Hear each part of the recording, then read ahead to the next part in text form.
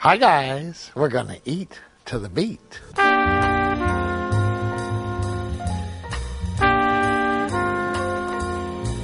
You know what I'm famous for? Everything I've done in my life, everything I've gone, everywhere I've gone, everything I've accomplished, I am most famous in that town because I have met James Barber.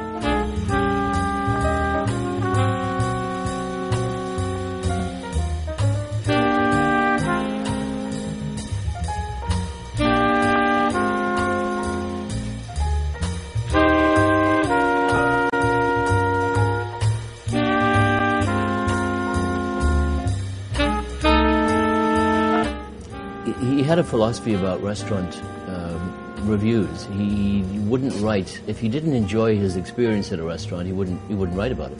Simple as that. And I, that's the kind of um, uh, restaurant reviewer I, I might be if if I was ever in that situation. Just if you, you don't have anything good to say, just don't say anything, say anything at all.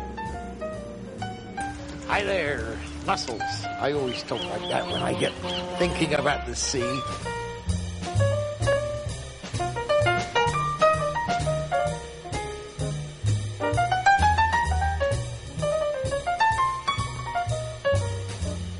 He had the, the humility to erase all the smoke and mirrors of anything to do about a restaurant and bring it back to the core of what it is, to the moment of just the food and the comfort of friendship.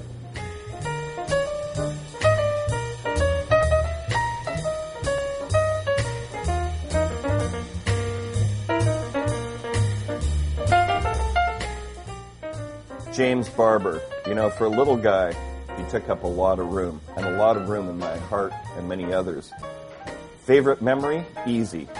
Dinner party at our house. Prince uh, Karl von Hohenzollern and Princess Alexandra. James arrived from Halifax with a box of 12 lobsters, marched straight out to my barbecue. He's in his best bib and tucker, refuses an apron. An hour later, he comes in, boom, lobster, but there was more lobster on him than on us. One of the most delicious dinners I've ever had in my life.